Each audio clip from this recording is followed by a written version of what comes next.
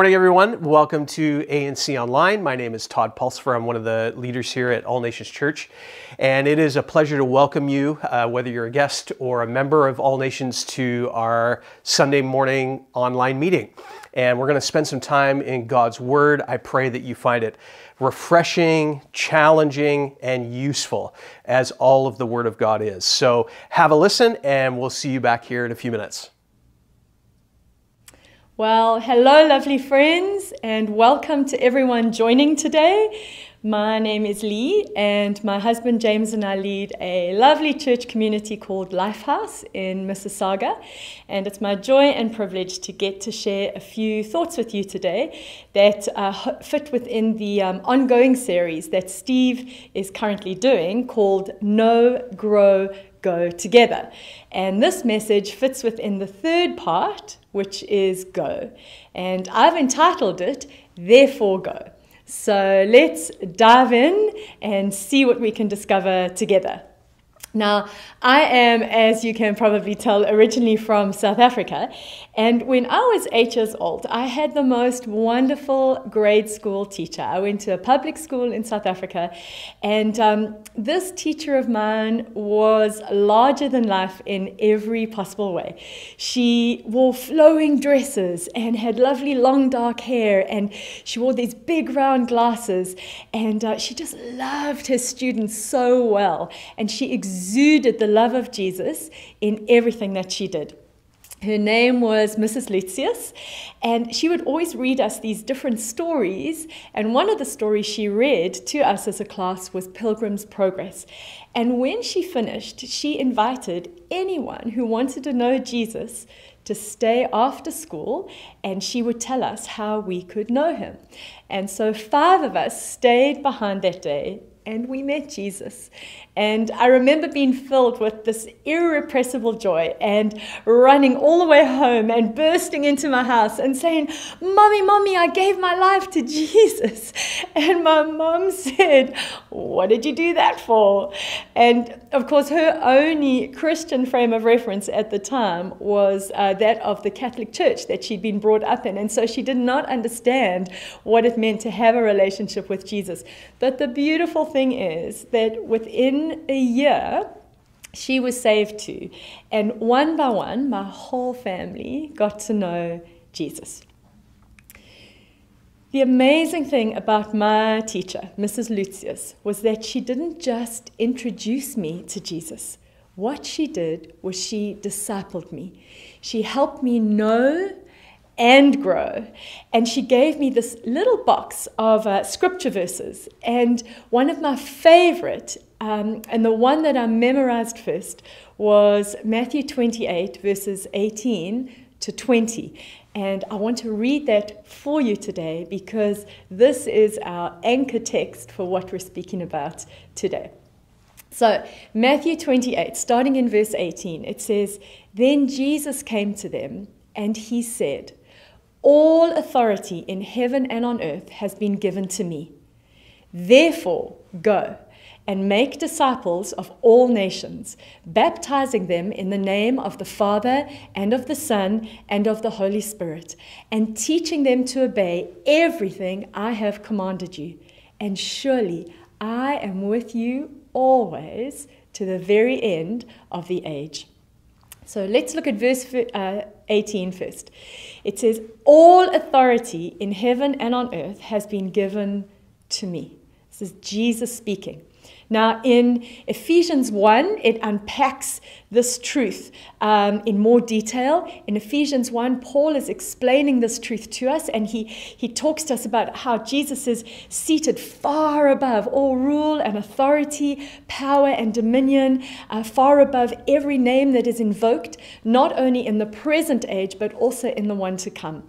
Uh, Paul tells us that God has placed all things under Jesus' feet, and he has appointed him to be head over everything for the church. And then in Colossians 1, verses 16 through 18, it is one of the most magnificent descriptions of, um, of who Jesus is. I love, love, love uh, these couple of verses. And let me read it to you Colossians 1. This is again, it's just unpacking the truth that all authority in heaven and earth has been given to Jesus. And so in Colossians 1, it says, For in him, in Jesus, all things were created, things in heaven and on earth, visible and invisible, whether thrones or powers or rulers or authorities. All things have been created through him and for him. He is before all things, and in him all things hold together. And he is the head of the body, the church. He is the beginning and the firstborn from among the dead, so that in everything he may have the supremacy. Isn't that magnificent? I just I get so delighted when I read um, those scriptures because I, I feel like it's a, it's a pronouncement that just covers everything. It's like, here we go, this is it. If ever there was a mic drop moment, I feel that Colossians 1 is God's mic drop moment where he's like, and that's it. And uh, so I just I just love that. But so Colossians 1 is speaking into what Jesus is saying in verse 18 of Matthew 28.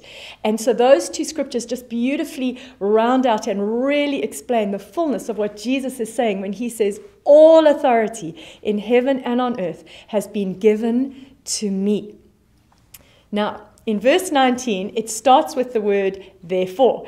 And I'm sure many of us realize that in Scripture, when the word therefore um, is seen, we need to actually stop and actually ask, what is it therefore? And um, Jesus is saying to us, as a result of the truth that he has um, stated in verse 18, here is the response. And so he says, therefore, on the basis of the fact that I have all authority in heaven and earth, your response is to go.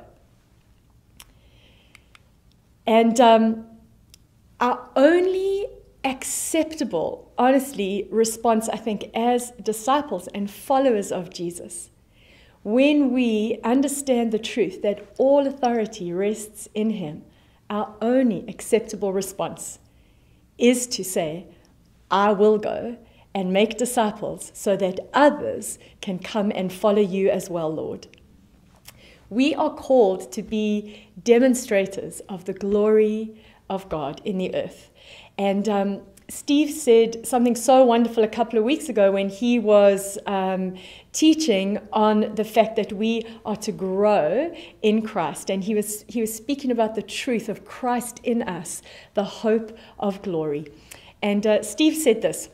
He said, The only way the earth will know God and everything He is and everything He does the only way the people of the earth will know his power and his presence, his character and his nature, is when they encounter men and women who have themselves seen him and have been transformed by him. And then Steve went on to say that transformed people transform the people around them. Jesus said it in this way Therefore, go and make disciples of all nations, baptizing them in the name of the Father and of the Son and of the Holy Spirit, and teaching them to obey everything I have commanded you. And surely I am with you always to the very end of the age. Now, my teacher, I really believe, understood that to go did not necessarily mean she had to go across the world, that she had to move countries. For her, Going meant intentionally seeing who was before her and viewing us as her students as precious children that God adored and wanted to reach. And so, years later, when God did actually call me to literally move halfway across the earth from South Africa to Canada to be part of a church plant, I really believe it was as a direct result of my precious teacher's initial choice to very intentionally go and influence the world that was around her. She chose to influence her sphere of influence, which was her classroom and her students. And I am forever grateful. And I know that uh, one day when I get to heaven, one of my first requests is going to be um, of Jesus if I could please meet up with her and thank her for her investment in my life. Ooh, it always, uh, it always makes me uh, want to cry when I think about it because um, I start to wonder what would have happened if she had not had a going mindset. Unfortunately, what has happened so often in the church is that we have cultivated a gathering culture as opposed to a going culture. And what I mean by that is that so often um, we find situations where uh, church communities would rather raise money and support a missionary who is then the person that is sent and who goes. And the whole responsibility of, of reaching other people is, is basically put onto this person or this group of people. Um, and so people would rather like raise money and then kind of sit back and enjoy the, the gathering as opposed to understanding that every single one of us as the priesthood of all believers has been called by jesus to have a going mindset and so, uh, what we see is that um, missionary organizations, um, sprung up across the world. Um, these precious people who did have an understanding um, that, that we've been commissioned to go We're brave enough to go, well, if the church isn't going to do it, I will do it. And so many of these organizations sprung up. And, and thank God they did, because there's so many people groups that have been reached and so many communities that have been beautifully impacted with the gospel because of these wonderful missionaries who chose to take Jesus seriously. But God's plan was not mission organizations. God's plan was that through the local church, disciples would be made. And then we would all have an understanding that we are to go and to impact our sphere of influence with the gospel. So often it drives me quite crazy when I'm, I'm reading a Bible and, um, and I'm flipping through the maps that are sometimes in the back of some Bibles, and they're always titled things like Paul's first or Paul's second missionary journey. And I, I always want to like say no. It wasn't a missionary journey, it was an apostolic journey. Let's use scriptural language to describe what was actually going on. And he he was he was apostolic. And what Paul did, he didn't start missionary organizations. Paul planted local churches. He raised up leaders, he raised up elders and local beautiful church communities who had a mindset um, to go and to reach their sphere of influence were started. So you can hear I'm quite passionate about this, but, but so much damage has been done because the church has lost this going mentality or culture. And um, every one of us, the truth is that every one of us is called to go in one capacity or another. I bless every person who, who has been involved in a mission organization. And if, if you're watching this and, and that, is your, that is your history and that is what you're a part of, bless you for your precious heart and your fervency in wanting to advance God's kingdom and to take the gospel to the corners of the earth.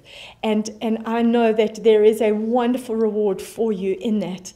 But um, I I also want to apologize on behalf of so many churches that have not taken care of the people who have gone out. We have met so many wonderful people who have been involved in missions, and they have been poorly treated. Uh, they have been treated so often as an afterthought. And if that has been your experience, I, I just. Um, want to really apologize on behalf of those who didn't understand what they were doing because you are precious and you are important and you have done such a beautiful and vital um, thing in advancing God's kingdom. But I urge every one of us, as the priesthood of all believers, it is time for us to put off just having a gathering mindset and to really allow the Holy Spirit to grow in us and not only an understanding, but a commitment to going. Outreaches to different regions of the world are amazing, and, and I've been part of a lot of different outreaches, and I'm sure many of you watching have been as well, and they're wonderful. It's a time where you grow and learn, um, it's an opportunity to take the gospel into different places. But you know, honestly, I have found that it is sometimes harder to go across the street or to engage with my neighbor than it is to go on a short term outreach somewhere else in the world. I find it more challenging, I find it more costly to go across the street than to go across the world. But the reality is is that we are called to go everywhere. Jesus said we are to go to our neighbors. We're to go across the street, down the road, to our towns, our communities, our regions, territories, neighboring countries, and then to the outermost parts of the earth. It's all encompassing, and it's going to take all of us to achieve it. It is a conscious decision, and um, I think that part of the intention of doing this series was to hold before us um, what Jesus has actually asked his church to do um, both with him and through him.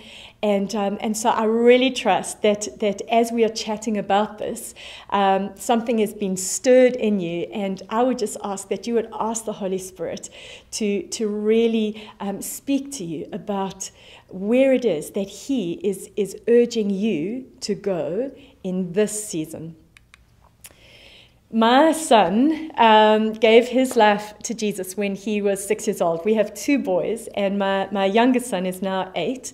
And uh, but when he was six, he gave his life to Jesus. And um, when he did that, I said to him, Why don't you ask Father God what it is that he has for you to do? Um, I spoke to him about Matthew 28. I spoke to him about the fact that Jesus has called all of us to go and make disciples. And um, I said to him, Why don't you go and have a conversation with Father God and, uh, and see what he wants to say to you? And um, he went off and he came back a little while later and he just said, Mom, Jesus told me that I have to go and tell people about him so that they can become part of his family too. And mom, he said, it's not just me that has to do that. Jesus said our whole family has to do this. And I said to him, That's amazing. That is so exciting. That is exactly what Jesus has called us to do. And I showed him in scripture the different things that, that Jesus had, had said, and uh, he was really excited. And then a day or two later, he was looking really, really glum. And um, I just said to him, Sethi, what's wrong? You, you're just looking really um, down in the dumps.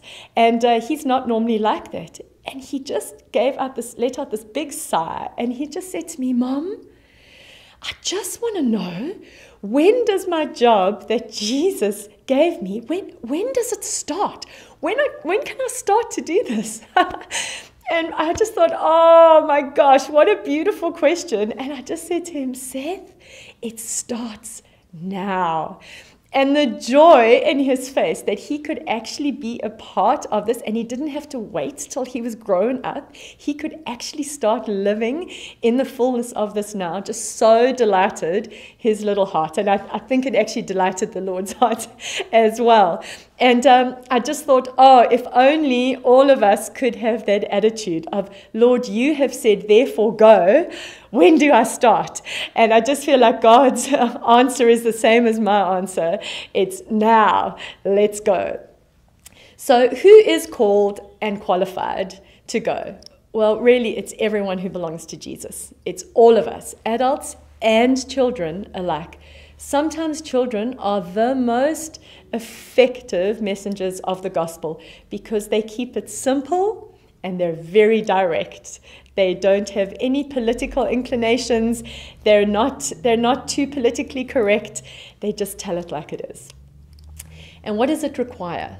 Well, it's going to require us knowing our God, which is what we've been speaking about, and uh, understanding that He lives with us and in us, and that uh, He um, causes His power to work so powerfully in us to perform His will through us. And um, I think we just need to acknowledge that It's His will that every single person be saved and come into fellowship with Him. We are His ministers of reconciliation. We're His ambassadors of His kingdom and of the message of the good news of reconciliation. And so we are called to go across the street and across the world if that's where He would have us be. Um, he determines where it is that He sends us, but we have to settle the fact that He has called us as His children to go. In, um, in Psalm 107, it says, Blessed are those who have set their hearts on pilgrimage. And it talks about the fact that wherever they go, they make it a place of springs. Life results because they are there. And that is the testimony that we, as God's children, are meant to have as well. So, really, going is just the, the natural result of truly knowing our King. It's knowing Him, we then grow in Him, and we therefore go in Him to the world around us so that they may see Him and come to know Him too. Now, I don't know about you, but um, in this pandemic time, um, a song that has meant so much to me, and I think a song that has been an anthem throughout the world really, has been the song The Blessing. And I just want to read a particular portion for you because when I was preparing this, I just felt God just showing me and saying to me, Leigh, if this, if this is my heart for you and for all people, then, then how can my children not go? And um, how can they how can they not have um, a going culture if this is who I am and this is my heart? And let me just read some of the words of the blessing. Um, it says, it says, may his favor surround you and a thousand generations, um, and your family, and your children, and their children, and their children. May his presence go before you, and behind you, and beside you, all around you, and within you. He is with you. He is with you.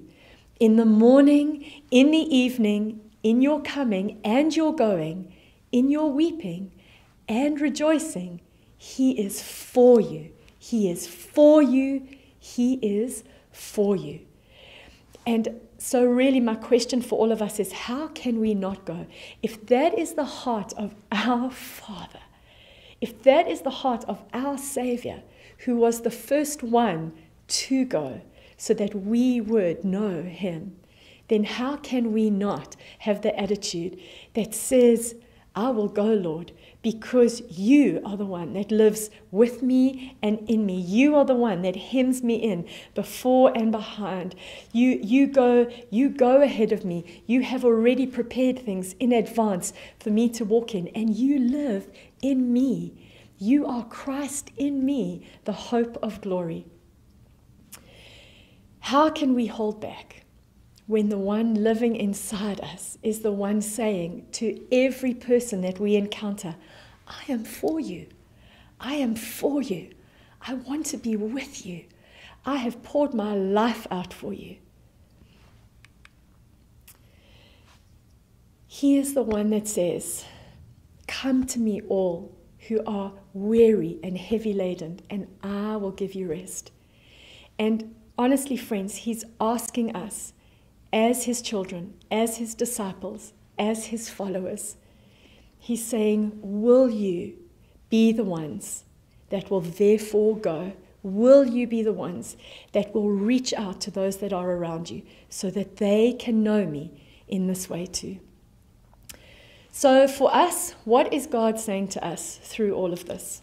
Well, first of all, I just felt Him say, I want to assure every one of you that are listening to this that you are in a very safe position in Him. And uh, just two scriptures. In 1 John 4 4, it says, Greater is He who is in you than He who is in the world. And you can just rest in that truth. Greater is He who is in you than He who is in the world. We have nothing to fear, and we are never alone In our going, we have the Lord of the universe, the God of all creation, going alongside us, going with us. And it is His power that is working through us as we go. And then in Matthew 10, uh, Jesus says, These things I have spoken to you, so that in me you may have peace. In this world you will have tribulation, but take courage. I have overcome the world. And then he, um, secondly, he just holds out his plan to us and he invites us to come in and partner with him to bring his plan to fruition. And um, as believers, it's really, really important that every one of us understand that we are all in full time ministry. As God advances his kingdom into every area of society, he does it through all of us. We are all in full time ministry. We are all called to advance his kingdom, to, to go and make disciples, to take the gospel to whoever we have an influence over. So, whatever your sphere of influence is, you are called to go into that area today. In 1 Peter 2 9, it says, But you are a chosen race, a royal priesthood, a holy nation, a people of God's own possession, so that you may proclaim the excellencies of Him who has called you out of darkness and into His marvelous light. Listen to that, that we get the privilege of proclaiming the excellencies of Him who has called us out of darkness and into His marvelous light. What a beautiful partnership and what an invitation. So, friends, really, in conclusion, um, I really just trust that some of these thoughts are just helping to establish the truth that we are called to go, that we are called to make disciples, that we are called to take the good news, the gospel of Jesus Christ to the world around us. It's going to take every single one of us doing this with, with all our hearts in partnership with the Holy Spirit in order to reach the precious people that Jesus is longing to reach. So, very practically, to advance God's kingdom, to make disciples and to grow in our go, how do we begin? What are some practical steps? And um, the first thing I would suggest that we all do is that we pray and we prophesy. And why I I really highlight prophecy is that uh, Shawn Bolz says this wonderful thing. He says that the goal of prophecy is to connect people to the empowering nature of God so that they can become like Him and they can display His marvelous nature to all the earth.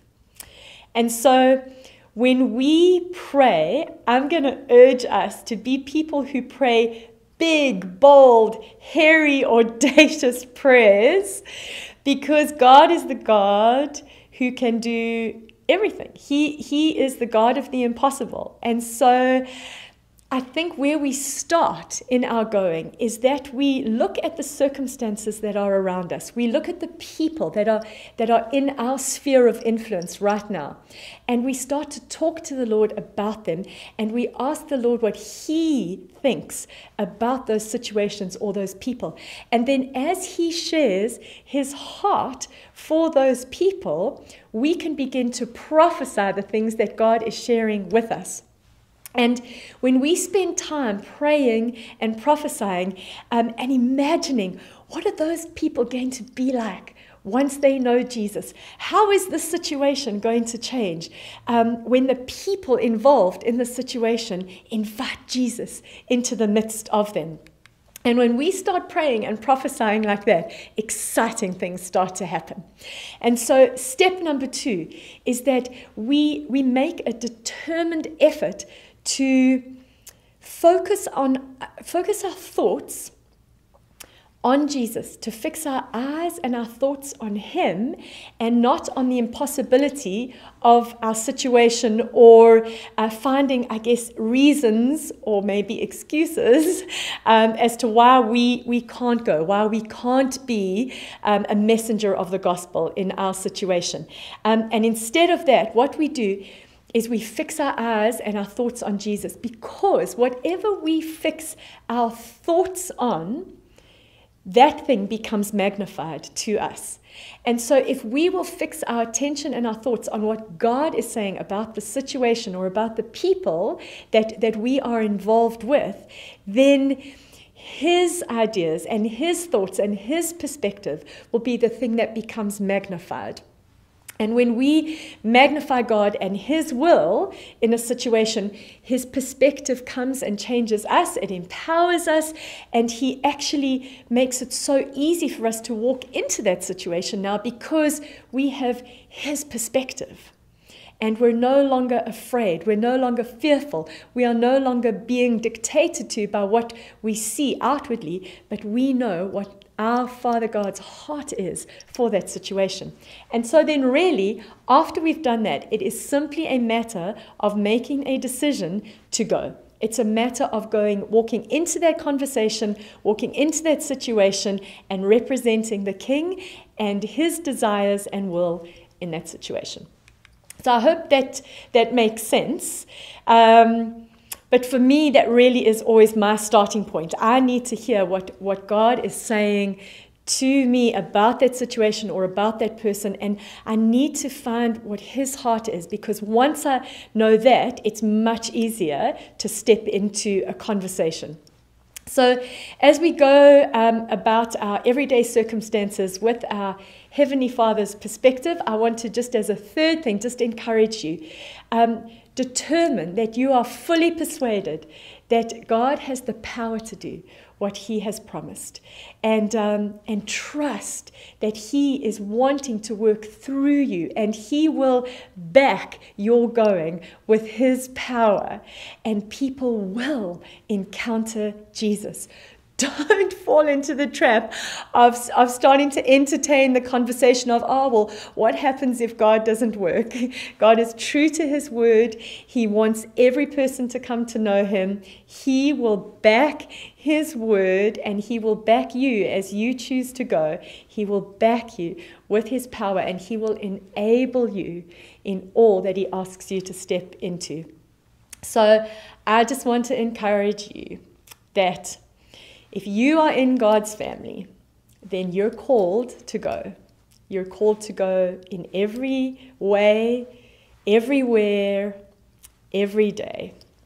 And uh, where you are today is where God will use you and work through you today. You don't have to go right now to the far ends of the earth to make disciples. There are people all around us.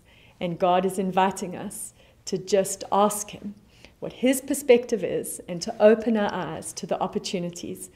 But we need to determine that we are a people called to go. So, bless you, precious friends. Um, I just pray that you will remember that God is for you and He is with you. And I just want to bless you with the words of uh, the song, The Blessing, because it's scriptural and it is God's heart for you as you determine to not only know God and grow in Him, but to go in Him. And so may God's favor be upon you and a thousand generations, and your family, and your children, and their children and their children. And may God's presence go before you and behind you and beside you, all around you and within you. He is with you and He is for you. So, therefore, friends, let's go.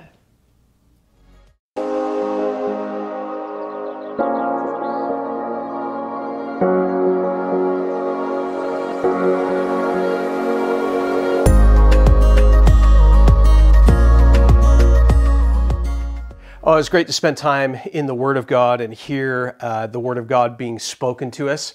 Uh, do you know one of the biggest things that we need to do once we've heard the Word of God is find out where our actions now need to fit with the Word that we've heard. And I want to encourage you to take time to do that, uh, to press into your relationship with the Lord. We're never going to get to the end of knowing Him uh, ever, but especially this side of heaven. So there's an endless amount of room where we can grow in our relationship with Jesus. And I just want to encourage you to do that, whether you already know him or whether you're just discovering who Jesus is. Press into your relationship with him. You will not regret it. And the Word of God really helps us to do that. So God bless you. We hope to see you back next week.